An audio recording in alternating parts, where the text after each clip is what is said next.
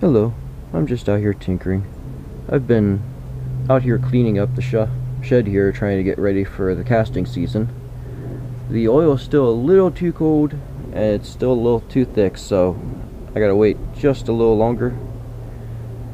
And so I figured it's nice out today, it's about 60 degrees. The weather's real nice. So I figured I'd grab the forge out. I got a bunch of this leaf spring here it's 5 16 inch thick and this stuff here in the center it's about 3 quarters. So I'll cut some sections out and I'll flatten them out to make the stuff for the vice jaws and everything ahead of time and for some parallels or whatever I need. And try to work on the milling spindle a little bit. Try to force some material back into itself to swell it out to make the size of steel that I need. The finished diameter that I was going for was two inches and it was two and an eighth so I'm gonna try to shove the material back into itself and upset it till it's around two and a quarter that'll give me plenty of material to machine off to make the flange and stuff I need for it. Uh, let's get the forge and everything out. I'll get these stuff cut up and we get everything fired up and get everything ready to go.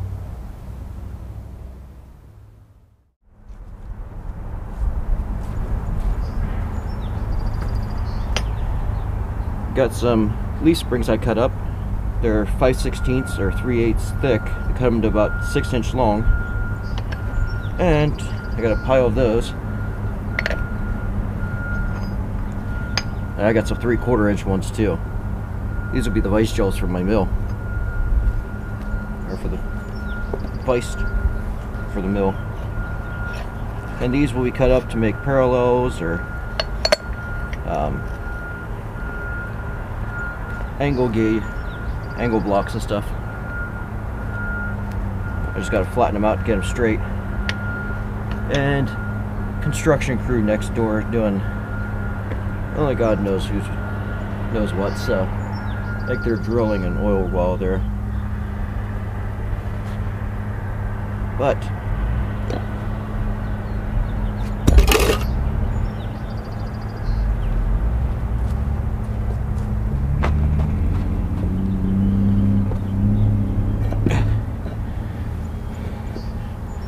I'm barely on on this side. I think I need a bigger stump. But it'll work for this time. Now I know I need a bigger stump. I also made a tool a while back. It's just a round plug because it doesn't need index. Took a ball end mill and ran into it. Now I got a rivet header that'll go into the hardy hole.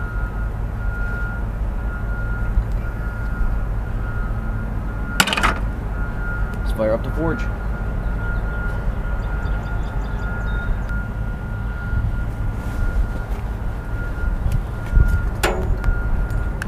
Good old burner. Fastest hair removal since last time I fired it up.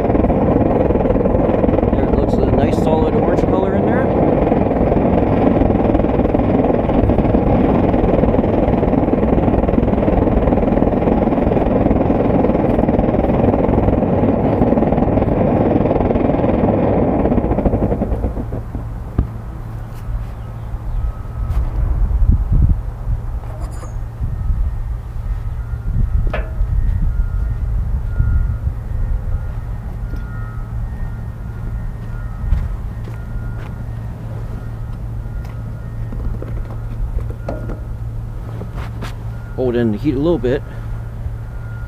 Because I don't have a Kaowool out right now, so that should work.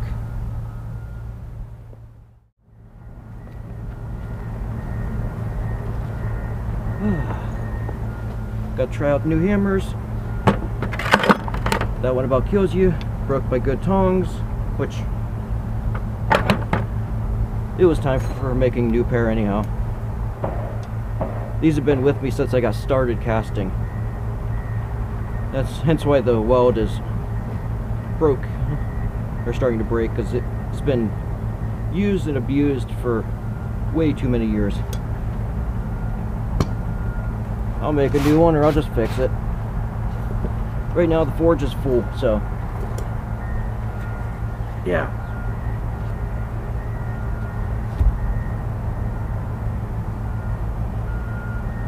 Slice of cheese and oh.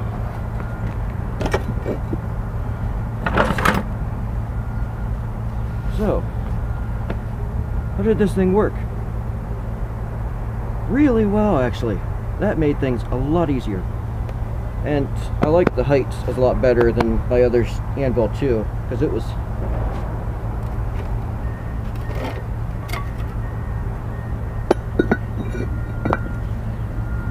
the size of it. So big difference.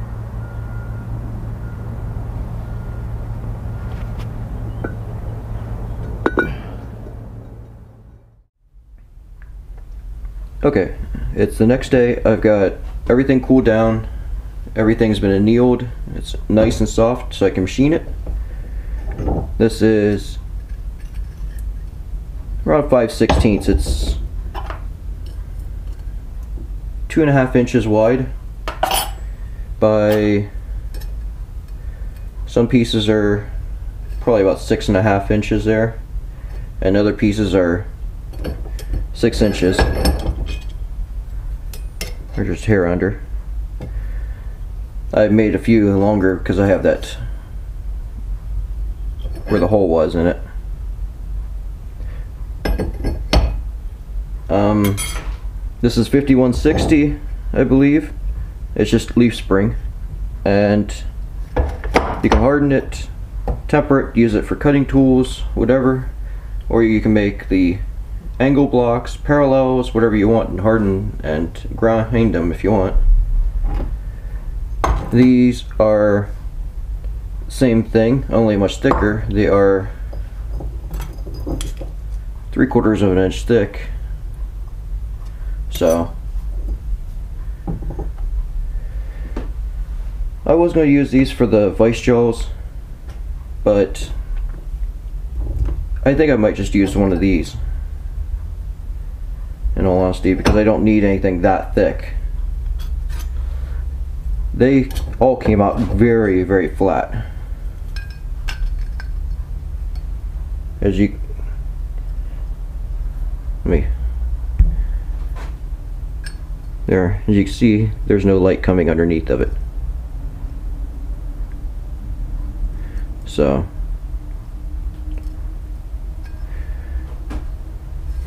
yeah, they are very flat.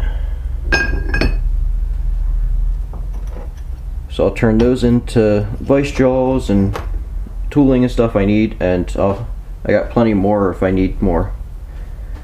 As for this, as you can see, I needed, this thing was all pitted and rough and everything, so what I did is by the time I turned it down the to clean up the rough uh, pitting and stuff it would have been too small for the bearings. So what I did is just shove the material back into itself mushroomed it out. Now it's it was two inches right on. And now it is wrong end. It's two and a quarter. So now I got plenty of material to make the flange and stuff out of because I was going to go two and an eighth for the flange and being two and a quarter I got plenty of material in case it's slightly out around or something but we got everything ready to go for the vise and the spindle.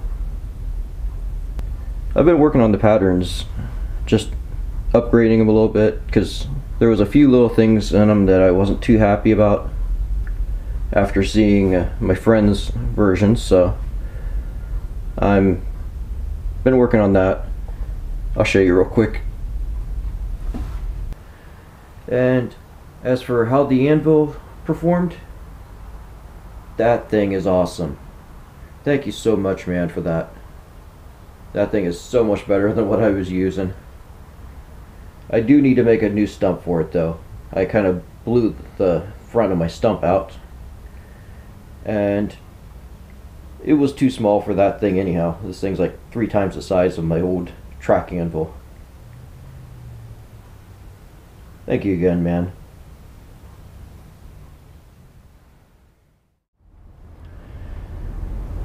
Okay, I got these all coated and ready to cast. So I've already got a flask that everything fits into, or this fits into nicely. I just made up a quick and dirty core box. It's just a piece of PVC pipe since the inside is 2 inch diameter. And wrap some tape around it to do it up to 2.5 inch outside. And just wrapped in a roll of sheet metal with some tape over it to seal it up. It's good enough for one core, so yeah. One or two cores, that's all I really need. I'll get this out of the way and I'll show you the vise, what I've done. Okay.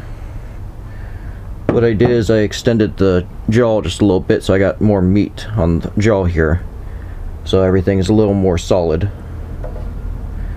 Everything's coated and nicely put together, ready to cast. Here's the jaw. So, I just made this up real quick. This will go inside of the disc here and be pulled up and it will be a lot more solid setup than the original Vise had. So it'll make the swivel ring a lot more rigid. But yeah, everything's coated, ready to go. I've already got the flasks ready to go to put everything into. The vise is a 4 inch vise. So, or just hair over 4 inch. It'll have about 4 inches when it's all machined up for holding space, which is the same amount that I have on my shaper vise. So, it's perfect for me.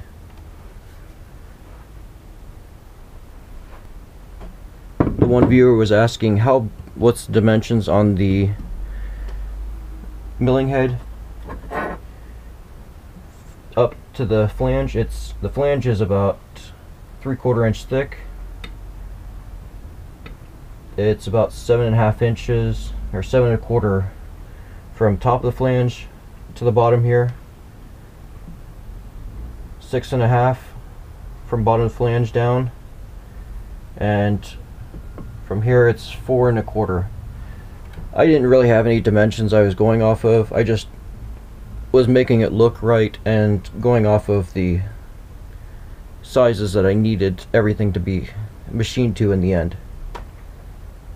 So I'll have probably about a quarter inch to come off of each end when it's done.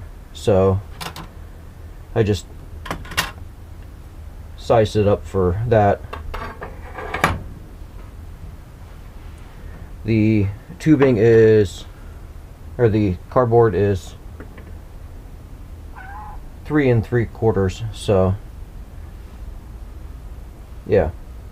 The, oh yeah, the flange up top is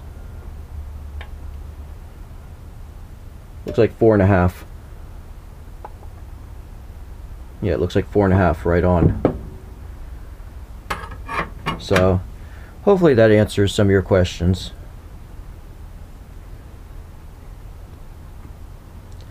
Uh, I'm to call it quits.